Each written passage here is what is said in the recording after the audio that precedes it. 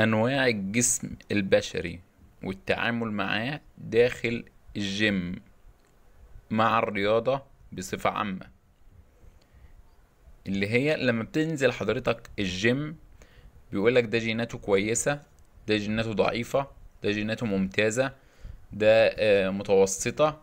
وتأثيرها إيه؟ آه، على طريقة التمرين آه، وعلى الأداء بتاعه والراحة وهيئته بيبقى شكلها عامل إزاي وإزاي إن أنا أوفق آه، أفضل التمارين وأفضل الأساليب لحسب طبيعة الجينات بتاعتي وحسب طبيعة الجينات بتاع جسمي. رقم واحد ال ectomorph زي الفنان سيلفستر ستالوني. ده بيكون ضيق الكتفين.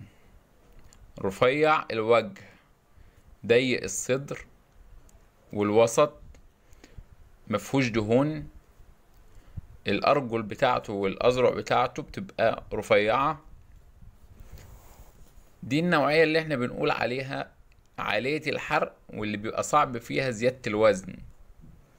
بالنسبة للتمرين بتاعها بيكون مرة واحدة في اليوم تمرين لعضلة واحدة. بتمرن العضلة واحدة بس في اليوم والتمرين بيكون مرة واحدة بس في اليوم. العضلة الواحدة دي بمرنها مرة واحدة برضو في الأسبوع يعني ما بمرنش عضلة نفس العضلة مرتين في الأسبوع هي مرة واحدة كافية ليها. الراحة آه، لازمة بين المجاميع وبين التمارين على الأقل دقيقة بين كل تمرين وتمرين. لو عندي إصابة أو جزء فيه إجهاد عضلي يفضل إن أنا ممرنهوش آه، بالنسبة للتمرين بتاعها والتكنيك بيفضل إن أنا أعمل مجهود كبير في وقت قليل.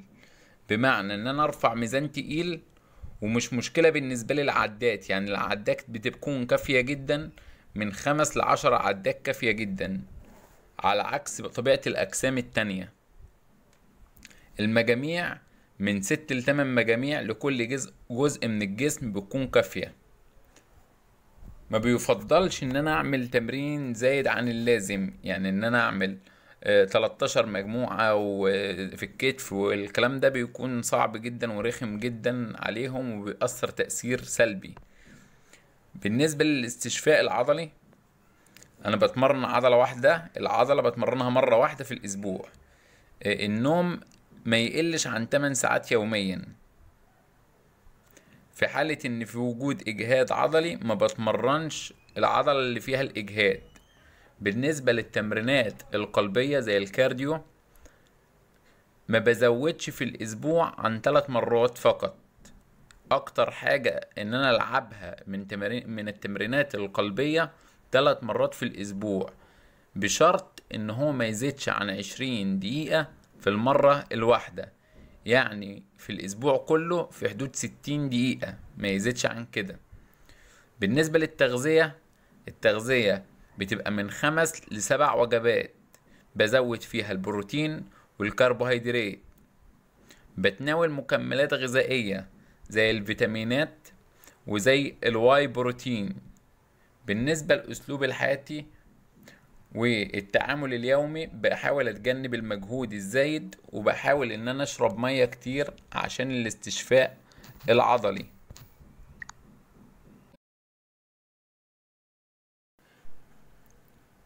الجسم التاني هو الإندومورف.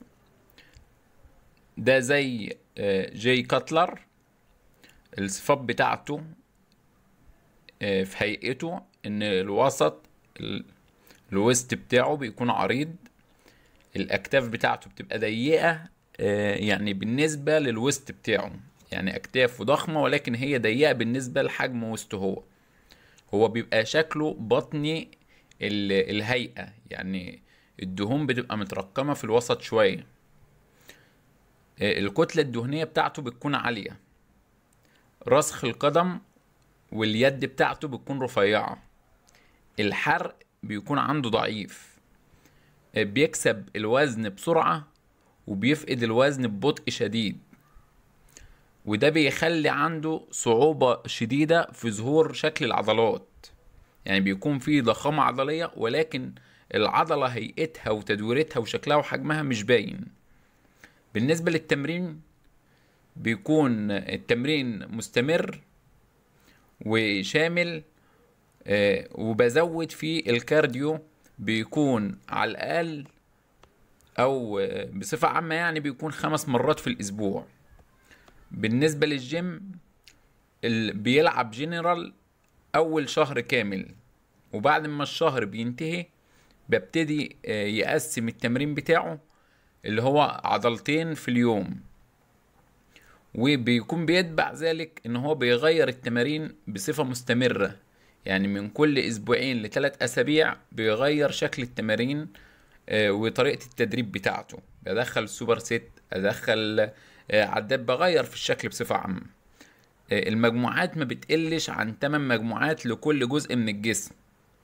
آه، بالنسبة للأوزان بستخدم أوزان متوسطة الوزن آه، متوسطة الوزن.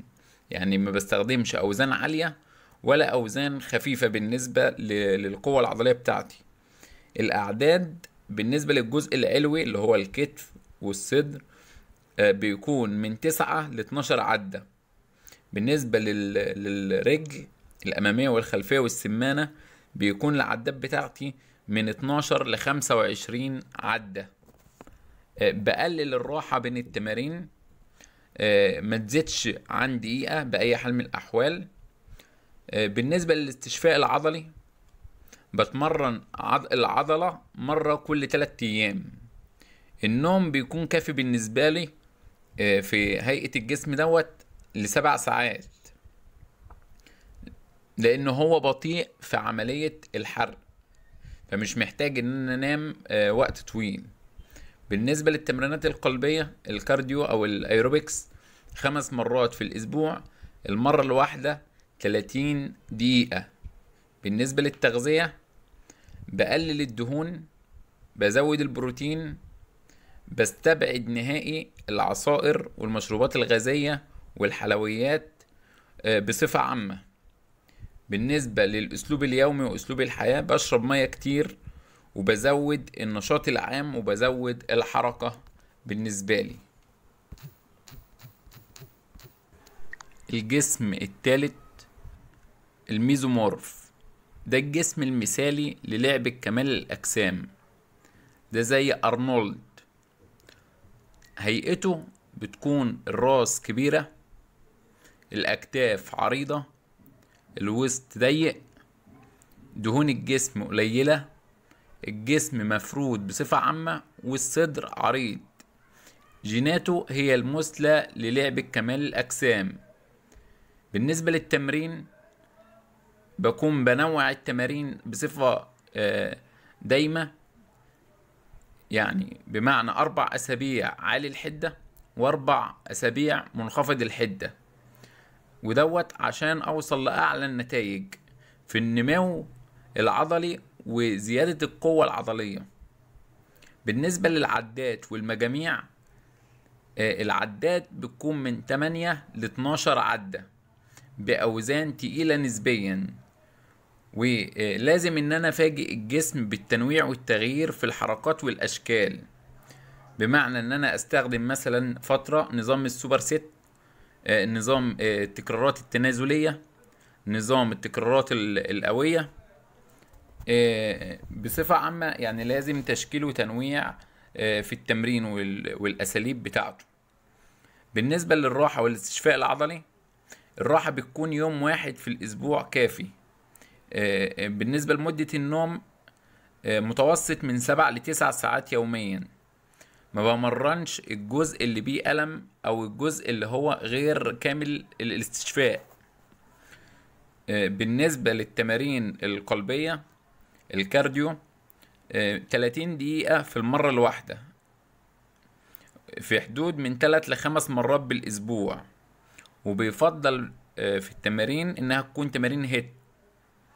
آه، بالنسبة للتغذية بزود البروتين بزود الكربوهيدرات بقلل الدهون. الدهون ما تزيدش بأي حال من الأحوال عن 15% من إجمالي السعرات الحرارية اللي بتخش الجسم في اليوم. بالنسبة للأسلوب الحياة بصفة عامة آه، ما بعملش أي حركات مفاجئة عشان أتجنب الإصابات وإن أنا بستمتع بالتمرين لا أكتر ولا أقل. وبزود شرب المية عشان أوصل آه، لاستشفاء عضلي سريع وتغذية لعضلات الجسم. وهنا آه، بنقول بصفة عامة إن الثلاث أنواع بتاعت ال- ال- هيئة الجسم وارد إن هم يختلطوا ببعض. يعني وارد إن النوع الأولاني يختلط بالنوع الأخير والنوع التاني يختلط بالنوع الأول. فأنت بتحدد آه، من هيئة جسمك في الواقع أنت أقرب لأنهي نوع أو أنت بين أنهي نوعين متداخل وبتوفق أسلوب يتماشى مع جسمك وهيئته. آه، في ملاحظات آه، بتكون مرتبطة بين الثلاث أنواع أو ال- الخمس أنواع الموجودين كلهم سواء متداخلة النوعين المتداخلين أو الثلاث أنواع الصريحة اللي إحنا اتكلمنا عنهم. آه، أهم حاجة التغذية مهمة جدا سواء أنت في أي نوع من الأنواع. في نوع تحتاج تزود كربوهيدرات شوية نوع بتزود البروتين شوية فأنت التغذية عليها عامل ولازم تهتم بيها طبقا للنوع اللي انت ماشي بيه. آه، انك تنوع في الأساليب والتدريب والبرامج بتاعتك وتغيرها من وقت للتاني. آه، ده جميل جدا وممتاز في الثلاث اجسام أو في الثلاث أنواع من الاجسام عشان توصل لأعلى النتائج اللي اللي انت ممكن توصل لها. نوع الجسم ما بيعتمدش على الحجم. بمعنى إن أنا لو شخص طويل آه، ممكن يكون نوعي اكتومورف أو إن أنا شخص قصير يكون نوعه ميزومورف. لا طبعا هي ما ده غير ده. يعني حجم جسمي لا ينطبق على آه، نوع الجسم. هي يعني العملية آه، كلها قايمة على صفات وأشكال والجينات مش على حجم الجسم يعني رسمة الجسم ملهاش دعوة بالحجم بمعنى إن أنا لو بدين مش بالمعنى إن أنا طالما آه، يعني عندي زيادة في الوزن إن أنا أكون آه، أكتومورف أو ميزومورف أو مش عارف لأ طبعا. هي كل حاجة آه، كل جسم في منه الزايد في الوزن وفي منه المنخفض في الوزن فهي بتكون متحددة بالنسبة للجسم الطبيعي لا أكتر ولا آه، لأي معلومات؟ راسلني وشكرا.